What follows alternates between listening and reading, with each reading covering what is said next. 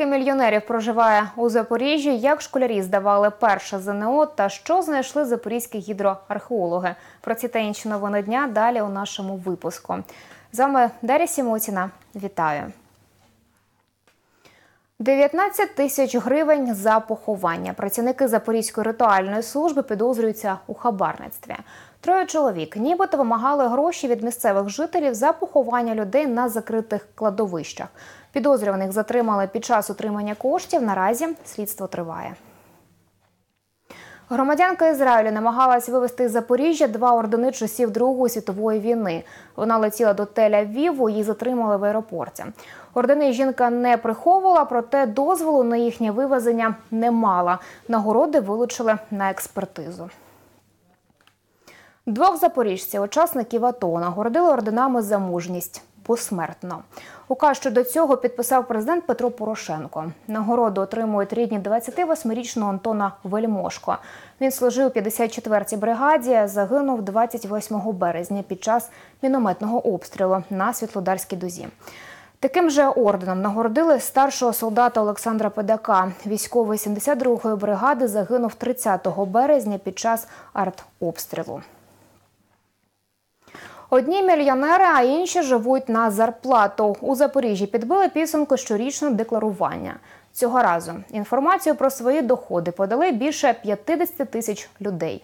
Виявилось, що в Запоріжжі живе 61 мільйонер, але їхня кількість скоротилась порівняно з минулим роком. Лева частина поданих декларацій стосується сільгоспродукції, а ще отримання спадщини, здавання нерухомості, а також отримання інвестицій. Загалом запоріжці задекларували 3 мільярди доходів. Фіскальники кажуть, Запоріжжя увійшло до п'ятірки міст, які сумлінно звітують про свої прибутки. Кожен громадянин, це зазначено в Конституції України, має обов'язок щодо сплати частин від отриманих своїх доходів. Не тільки підприємці, не тільки підприємства, але й громадяни. Це ми робимо як отримуючи свою доход у вигляді заробітної плати. Також е, відокремлено саме цим декларуванням ті доходи, які не підпадали під оподаткування. В Україні стартувало зовнішнє незалежне оцінювання. Перший іспит з української мови та літератури. В Запорізькій області тести складають близько 10 тисяч випускників. Як школярі готувались до ЗНО та чи складними виявились завдання, дізнавалась Євгенія Вартій. Пів на одинадцяту на площі біля університету черга. Тут один із пунктів для здачі ЗНО. Одинадцятикласники збираються біля входу, чекають початку. Серед натовпу і Олексій. Він вже вдруге складає тест. Раніше навчався в коледжі, тепер хоче вступити до вишу. Готовился я сам, просто открывал тесты в интернете, решал, что было непонятно, пытался находить ответы и так далее. Первый раз для всех, конечно, волнительный. Второй раз уже более такой спокойный, уже не сильно переживаешь. Поки учні складають іспит, координатори тестування розповідають, у цьому році найголовніше не сплутати документи та адресу закладу, де складають ЗНО. Під час тестування телефони та будь-які інші електронні прилади заборонені. З собою можна взяти лише папір та ручку. А от за цими дверима майбутні студенти складають ЗНО з української мови та літератури. За 180 хвилин абітурієнти повинні відповісти на 58 питань та написати твір. Максимальна кількість тестових балів, яку можна набрати – 200. За тим, як проходить тестування, слідкують організатори. Кажуть, головне створити сприятливі для роботи умови, адже школярі і так нервують. Сьогодні дуже важливо бути толерантними до наших дітей, тому що вони знаходяться в ситуації такої визначальної, стресової, і саме від того, як ми будемо створювати умови, буде залежати від того, як дитина також буде налаштована на складання свого іспиту. Тести складали три години. Після завершення можна було отримати зошит та самостійно підрахувати бали. Олексій сподівається, набере достатню кількість. В принципе, задания все были ну, нормальные. Ничего особо такого сложного. Были, конечно, с- немного такие запутанные задания, тесты по украинской литературе, а так, в принципе, все было хорошо. Все было понятно, несложно. Думаю, на 170 точно. Результати тестування усі бажаючі дізнаються не пізніше 15 червня. Наступний іспит заплановано на 25 травня. Випускники складатимуть іспит з іспанської, німецької чи французької мови. Нове обладнання, нові можливості. Операційний блок 5-ї дитячої лікарні забезпечили новим хірургічним приладом. Медики отримали нові операційні столи та спеціальні лупи. Виробника приладів обрали українську. На закупку витратили близько 140 тисяч гривень. І Лікарі кажуть, такі медичні новинки допоможуть більш якісно надавати хірургічну допомогу навіть немовлятам. Тот проект, который подразумевал э, приобретение двух новых операционных столов э, и э, оснащение операционной бригады э, в э, объеме как минимум хирурга э, новым современным увеличительным оборудованием с э, источником света, это бинокулярные лупы. Я надеюсь, что в ближайшие годы нам удастся превратить нашу любимую детскую больницу в серьезную современную базу, оснащенную э, самым современным медицинским оборудованием. Рідкісні артефакти знайшли запорізькі гідроархеологи. Влаштували експедицію до Херсонської області на місце давнього слов'янського поселення Олеща.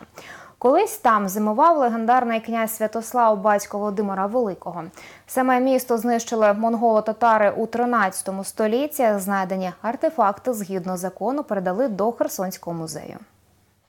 Е, Було знайдено глечик. Е, Горчик приблизно 9-11 століття. Він майже цілий, тільки частина вінчику була побита. Це на фото добре видко. Зазначу, що е, глечик каже про те, що це ну. Було е, таке величезне городище. Було знайдено фрагмент доски. За нашою інформацією, скоріше за все, що в цій ганині е, є острови е, стародавніх лодій, як вікінгів, дракарів, так і слов'ян, так і греків, тобто мається візантійців, ну та інших. Тобто треба досліджувати і досліджувати. У місті триває підготовка до екофоруму. Він розпочнеться 31 травня. Участь у заході візьме і дитячий ботанічний сад. Там на виставці представлять різні види рослин. А ще працівники саду готують інсталяції. Подробиці в сюжеті Карини Рибачонок. У ботанічному саду більше чотирьох тисяч рослин, дерев та кущів. Про них відвідувачам саду розповідають екскурсоводи. Валентина Гімро каже, охочих побачити різнобарв'я запорізького саду чимало. У нас каждый день записано, у нас мало того, что у нас записываются экскурсии уже наперед, например, там на две недели, за месяц, у нас уже записаны экскурсии. Потом уж- у нас еще приезжают без записи. У нас не только Запорожье. У нас вот сегодня у нас даже посещали и Донецкая область, и Луганская область, что я удивилась. За красою та порядком у ботсаду слідкує Володимир Данилевський. На виставку до екофоруму підготував каркас, який прикрасять квітами. Така конструкція називається торт. У саду сподіваються, їх вироб здивує запоріжців. изюминка нашего ботанического сада бу- должна быть. И надеюсь, что будет. Она складывается в основном дерево Деревянный каркас, обшитый OSB и скрученный шурупами все это до кучи. Разбирается, конечно, для перевозки. от имени ботанического сада инсталляция Квиткова. То есть вот это все однолетняя культура выставлена в виде тортика такого. А здесь многолетние культуры, э, горшечные э, крупномеры, как мы их называем. Ну, баннер будет стоять. А ще працівники саду обіцяють провести на форумі онлайн-екскурсію по території. Розкажуть, яким був ботсад та як виглядає зараз. Такими були новини вівторка. Інформаційна служба продовжує працювати для вас. З вами була Дар'я Сімотіна. Гарного вам вечора. А зараз новини спорту. До зустрічі.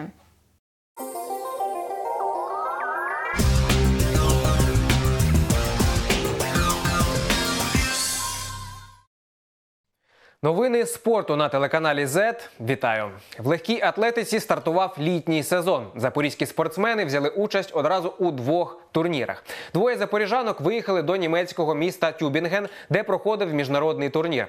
Анастасія Бризгіна вийшла на старт дистанції 200 метрів. Її час 23,85 секунди приніс нашій землячці бронзову нагороду. Ще одна запоріжанка Анастасія Ткачук фінішувала на півтора кілометрах з 12-тим результатом. Метальниця спису Ганна Гацько-Федусова відправилась до японського міста Кавасакі. Там вона відправила свій спортивний снаряд на 57 метрів 27 сантиметрів. Це принесло їй сьоме місце. Підходить до завершення чемпіонат України з гандболу. В черговому поєдинку запорізький мотор офіційно оформив чемпіонство. Черговим суперником команди Миколи Степанця став ще один запорізький клуб ЗТР Буревісник. На відміну від попереднього матчу, що пройшов трьома днями раніше, на цей раз ЗТР Буревісник жодного разу не зміг повести в рахунок. Спочатку команди обмінялися забитими м'ячами, а далі упустили по кілька можливостей. Трохи згодом мотору вдалося відірватися на три пункти, а потім збільшити до п'яти на 24-й хвилині. Такий відрив зберігався до 56-ї хвилини, коли мотор зробив ривок 4-1. Фінальний рахунок матчу 29-21 на користь чемпіона. ЗТР Буревісник завершує чемпіонат на сьомій позиції. У спорткомплексі Мотор Січ пройшов чемпіонат Запоріжжя з китайського бойового мистецтва Ушу Саньда. У змаганнях взяли участь 80 спортсменів. Вони представляли більшість місцевих клубів. Як пройшли двобої у наступному сюжеті. Жага до перемоги. Такий був девіз кожного з учасників змагань. Впевнено, на килимі почував себе Тимофій Раєнко. Ушу Саньда займається понад п'яти років. За цей час здобув чимало титулів та нагород. У його скарбниці три титули чемпіона України. Цього разу він також здобув перемогу. Первый раунд я э, подстраивался к нему и бросал, а второй раунд я уже накатил, и когда он, так сказать, уже поплыл, э, я э, смог его нокаутировать. Переможцем вийшов і Деніел Веретельніков. Півроку зусильних тренувань та підтримка близьких людей зіграли свою роль у цьому. В планах у хлопця виконати норматив кандидата у майстри спорту. Это был мой первый бой в моей жизни, мои первые соревнования. И я победил. Я просто очень э, люблю драться, и мне этот спорт очень по душе, чтобы выпускать свою энергию, агрессию и так далее. Головний суддя змагань Кирило Фалинський запевняє, спортсмени підійшли до старту у належній формі. Це відчувалось у їх виступах. Те ребята, которые выступают уже не первый раз, по ним видно, да, что уровень растет, то есть ребята работают. Вот. А для новичков это первый шаг, первые как бы их соревнования, поэтому пока они просто пробуют то, что умеют. У командному заліку золоті медалі здобув колектив Запорізької федерації УШУ. На другому місці спортивний клуб Патріот. Бронза дісталася представникам бойового мистецтва Спас команді Вихлист. Олексій Чернявський, телеканал ЗЕТ. У Харкові триває міжнародний турнір з художньої гімнастики. В змаганнях беруть участь спортсмени з п'яти країн.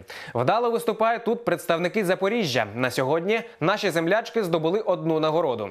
Чемпіонками у командних змаганнях стали вихованки спортивного клубу Доротея. Вони перемогли у віковій категорії до 9 років.